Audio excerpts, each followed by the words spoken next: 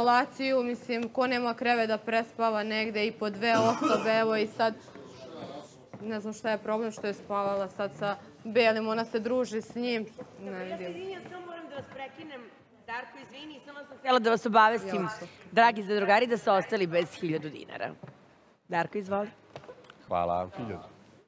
Hiljadu. Kako seš, tako žanješ. Davno je neko pametan rekao i eto, to će se pokazati i u vašem slučaju, tako da jedva čekamo tu podelu budžeta i narednu nedelju. Da. E, Hvala vam, devojke. Vidjet ćemo koju će Janjuš odabrati na kraju. Da li će mu Marijana pružiti novu šansu i da li će on Marijani.